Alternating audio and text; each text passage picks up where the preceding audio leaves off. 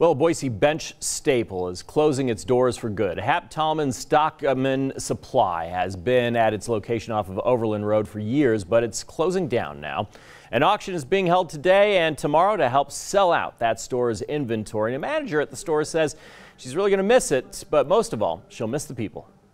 The coolest thing has been meeting all kinds of people and hearing their stories and I've had a lot of really loyal customers over the years and I've gotten to know them by name and it's just been awesome.